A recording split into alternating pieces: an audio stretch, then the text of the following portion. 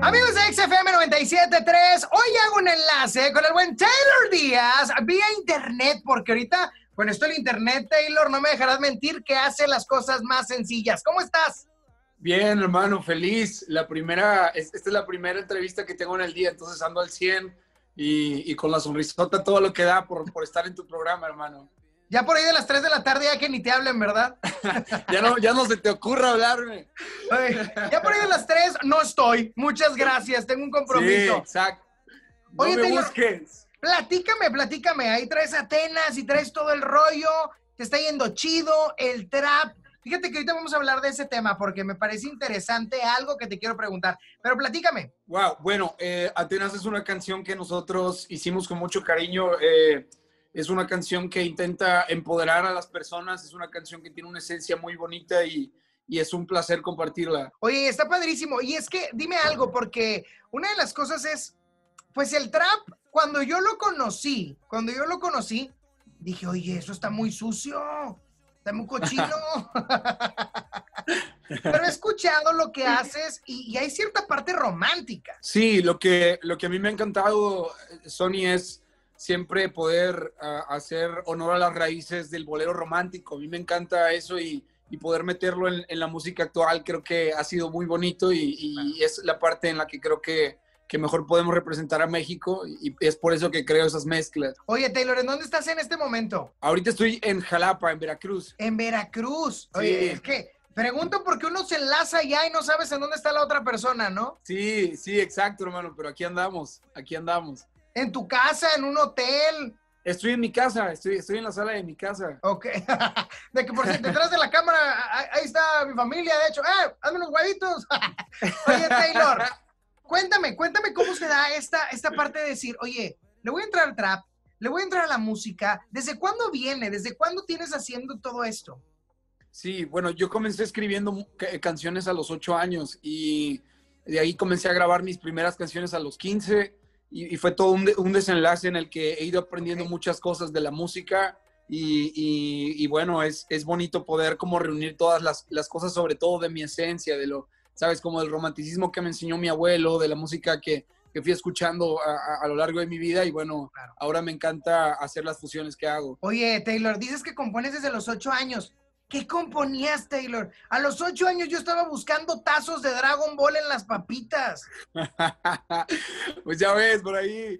Eh, lo, primero que escuchaba era como canciones de Timbiriche. Había un disco ahí viejito de la casa y escuchaba Timbiriche y, y qué, qué, dolor y qué inspiración había ahí, hermano.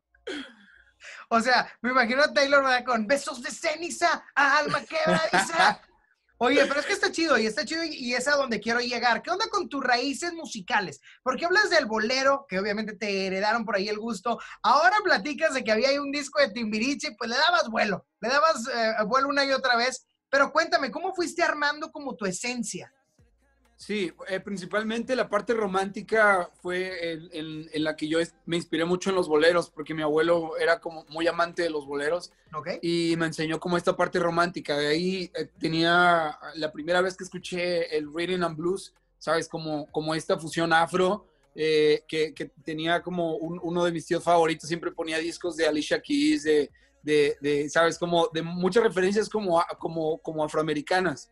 Y y fue como que empecé a, nutrirme de mucha música y, dije, ok, eh, normalmente el RB no se escucha en español, sería bonito crear RB en español y, y, lo que te permite crear el RB es la parte romántica. Entonces empecé a tomar el bolero para meterlo en, en ritmos de RB como el trap, como, como el soul, como, como todo eso. Entonces eh, lo bonito fue que, que, el, que, el, bolero me permitió que las letras tuvieran como toda una coherencia y se conectaran a, a la parte del RB. Y así fue como empecé a mezclar desde reggaetón, RB, trap, y, y, es como que nace toda la esencia de mi proyecto. Oye, ¿cuántos años tienes, Taylor? Tengo 26. Ah, estás chavo. Aquí ando.